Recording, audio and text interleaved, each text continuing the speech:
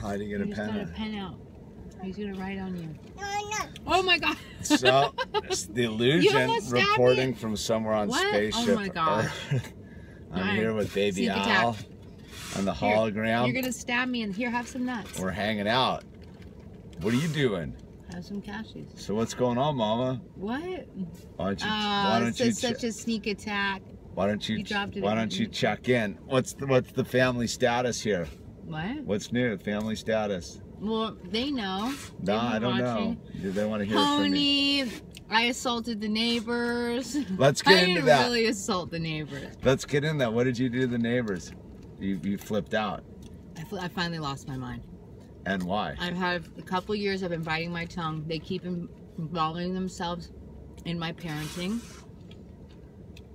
because we had a friendship prior to moving to the property, and you know that whole four agreements thing, where what other people think about me is none of my business. Well, that's she sort of cracked. Ah, that went out the window. And somebody sent a text message to me. One of the people next door sent a text message to me insinuating that I wasn't there for my daughter during the lost pony. during the Lost Pony. And somehow their their opinion of me in that text message sent me through I, I lost my mind after three switch. days of no sleeping and pony searching and and I ran next door with the phone in my hand and and cussing and screaming and how dare you accuse me of not taking care of my daughter and and then it got into a whole uh, you know I and then it turned into a me standing there with the phone going oh you're big talkers over text but you can't do it face to face I mean I lost my mind like I kind of got ghetto Did you get ghetto? I got a little ghetto. And yeah. And it and it and, and I was upset for like a week about it. I that these people next door, by the way, who I would never ask for advice. I don't respect in that arena. I don't know why I let it get to me. But I did. And you know, Hamish brought something up that was kind of interesting. He's like, "What if somebody I have this yeah, so anyways, I'll have to get I'll have to get into too much history and we don't have enough time for that. We don't. We're only at two minutes. Two Ah. minutes in. Okay, I got sober when my daughter was four years old. And between two and four years old, I was a mother that was drinking alcohol. I still seven Crazy. years, seven were years later. Thank you. I seven years later, I suffered from really bad postpartum, and I am an alcoholic. I was sober at the time when I was pregnant and had my daughter, and I thought because becoming a mother was going to cure me of my alcoholism because I loved my daughter so much, and I I went untreated with postpartum depression for like a year, and I I ended up drinking alcohol again and dragging my daughter to bars with me, and that's actually when I met Hamish. I didn't like her. like me. Mm. And when Georgie was almost four years old, I got sober finally for good, and I've been sober for seven years. But I still have I have one wound, and my wound is that I wasn't a good mom because I wasn't for two years. You can't be a participate practicing alcoholic and be a good mother. You just can't. And um, or I I wasn't, and so when anybody brings up my mothering to Georgie, not to Owl, because Hamish then said, "What if somebody was like, well, you're not a good mom to Owl, or you weren't there?" I'd laugh at it because it's laughable. Because I've done nothing but take care of this little human for, you know, a year and a half now. Because we're not doing that whole 15 months thing. We're not going to be one of those things. How old is he? He's 22 months. He's 14. Isn't four- he 15 months? June, No, the 23rd is his birthday, and it's August, so he's just over 14 months. Okay. So we are so, anyways, but yeah, so yeah, I I am. I, cracked because 14 months and two weeks. because I Ah, let somebody else's opinion of the kind of mother I am. Don't don't involve yourself in my in my home and my parenting. I'm an alpha female. I don't want if I don't ask for your opinion, I don't want your opinion. And don't and don't judge my my daughter. Oh, No, it's not over. what keep is it? going. Keep what does going. it do Just when it keep does that? going. What? Just- And it's- don't judge my daughter either, because But it the really. neighbors were really involved when I was a single mom. Before I met Hamish, and she would go ride with them, so they felt the need to.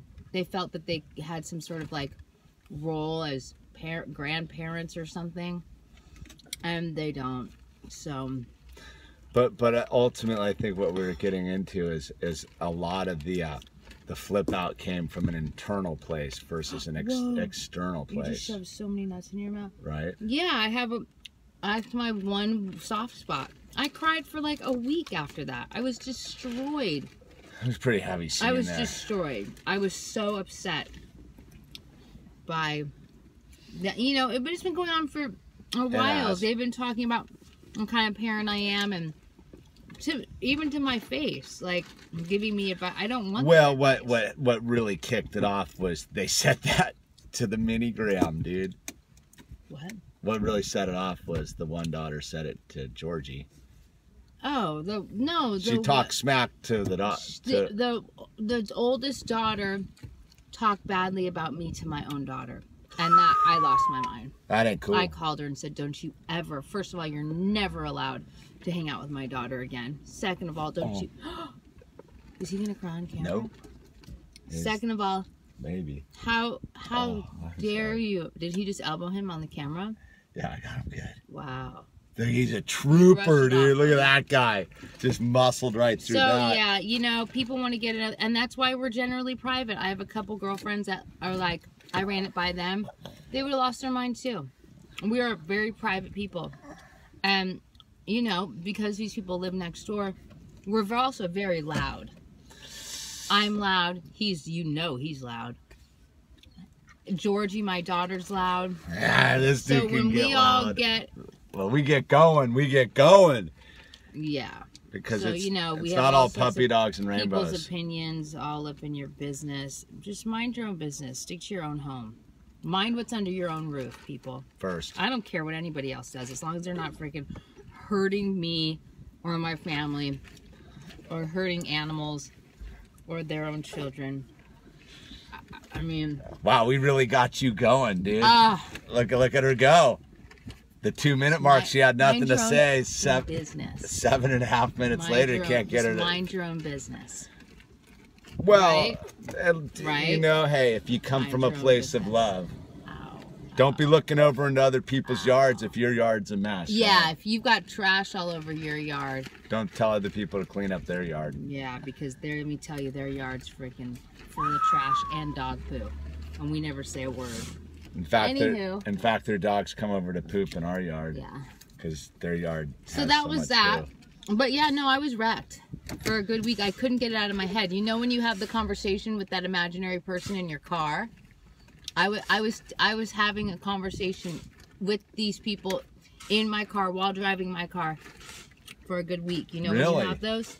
Yeah. Oh yeah. What I could have said different, what I should have done, how it could have gone. If it happens again, what will I do? Oh yeah, I had full internal diet. I really like those nuts.